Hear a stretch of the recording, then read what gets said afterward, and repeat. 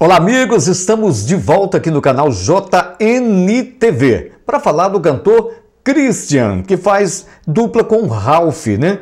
Ele resolveu agora dar entrevistas, inclusive ele está dando entrevista até para alguns youtubers, né? Ele faz isso agora, porque quando o Ralph disse que não dava entrevista mais para nenhum canal de TV, não. O Christian tem um projeto solo agora, né? E resolveu dar a primeira entrevista depois de quase 15 anos, né? Sem dar entrevista para as emissoras de televisão, ele deu uma entrevista para a Record, sem o Ralph. Será que a dupla não está se desentendendo, né? Cada um vai fazer uma carreira solo agora, um projeto. Não estou dizendo que eles separaram, não. Não, longe disso, viu? Não estou falando isso. Mas por que que o Christian resolveu dar entrevistas agora? Entrou em contradição, porque ele, né, juntamente com o Ralph, disseram né, que não iriam mais é, dar entrevistas para emissoras de televisão. Para alguns canais do YouTube, sim, estavam dando entrevista de boa, tranquilo, sem problema nenhum.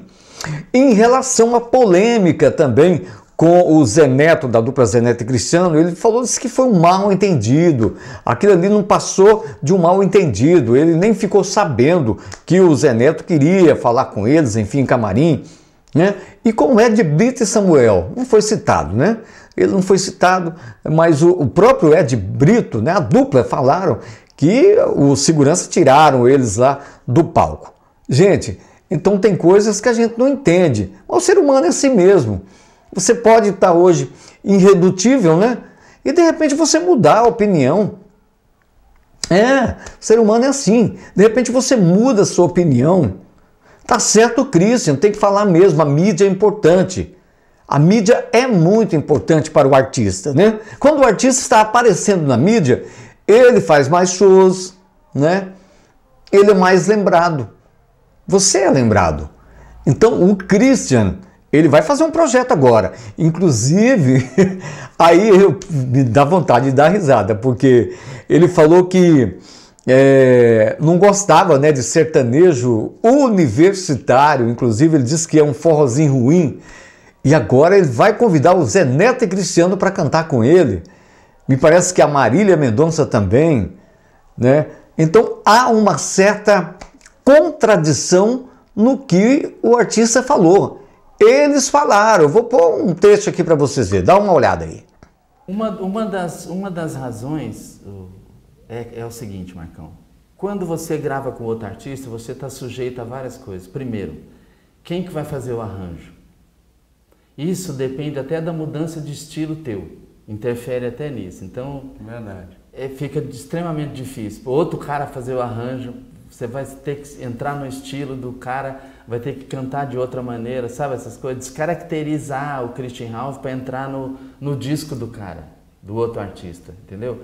Aí tem a mixagem que vai no mesmo esquema, e a masterização, isso tudo a gente que faz. Então você vai sair do Christian Ralph. E outra coisa. Então também. ele não vai ter a participação no disco dele do Christian Ralph. É, só das vozes lá, das vozes, preenchendo o negócio. É. Aí eu não sei até que ponto é interessante, é, até para o fã nosso. E outra coisa também, quando você grava com, com um artista, você está é, assinando que ele canta. Você avalizou ele, você participou do disco dele. Então você avalizou você que acha realmente ele demais. que você acha ele demais e que realmente ele canta. E foi uma, foi, uma, foi um, uma piada, realmente foi uma piada sem graça, entendeu? É, ali a gente sentiu que os caras não, não, tem, não tá com essa bola para botar tanta pose. É, veja bem, anunciando a semana toda Christian Ralph no Faustão. E aí, Christian Ralph no Faustão, tal, Isso foi o quê, e fã-clube, tava um agito. Porque a gente já quase não fazia mais televisão. Aí nós fomos fazer o Rio. Faustão, tava Fomos no camarim, todo mundo no, no Rio de Janeiro, todo mundo trocado, tá tudo certo, tal. Ó, daqui a pouco tem mais dois blocos, vocês vão entrar, tal. Aí passou um pouquinho, o empresário veio e falou: olha, vocês não vão fazer mais. Como não vão fazer mais? É, os caras é, falaram que vocês fizeram o Raul Gil e por isso vocês não vão fazer o Faustão. Vocês já estavam lá? É, e, camarim, e, a gente pronto. não, trocado, de roupa e tudo, tudo para entrar no programa. Aí a gente sentiu que era meio sujo a coisa, mais sujo do que a gente achava. Porque veja bem, você é, é, se disponibilizar aí até o Rio de Janeiro para fazer um programa, né? É, anunciado tudo, a tudo semana anunciado toda. a semana toda e porque você fez um outro programa você não vai fazer aquele e você pronto. Não é isso, só um desrespeito isso, isso é uma falta de respeito não é só com a entendeu? gente com o público que estava esperando também há uma é, semana de, de e a gente achou isso uma falta de respeito e ali a gente começou a não fazer mais televisão. Teve um dia que a gente falou que não fazia mais televisão. Então eu não estou inventando conversa e nem fuxico, mas eu achei assim, interessante gravar é, esse conteúdo aqui para falar que às vezes né, é, o artista entra em contradição. Eles seguraram um tempo bom, um tempo grande, né? É, essa questão de não dar entrevista para televisão foi assim um bom tempo, só para o tio Raul lá, né? O tio Raul Raul Gil, bonzinho da televisão, né? Por que, que o Christian, de uma hora para outra, resolveu dar entrevista para a televisão e até gravar com sertanejo universitário? Gente, música é para todo mundo, tá? Existe música ruim? Eu não posso falar que existe música ruim, porque quem gosta de funk é porque acha funk bom. Quem gosta de brega é porque gosta de brega. Quem gosta de sertanejo é porque gosta de sertanejo. Quem gosta de música raiz é porque gosta de música raiz. E por aí vai, MPB idem. Então, não existe música ruim. Tem público. Se você acha uma música ruim, ah, é a sua opinião, né? E tem que ser respeitada. Tem que ser respeitada. Belmonte Amaraí, Tonico Tinoco, Tião Carreira e Pardinho. Quem mais?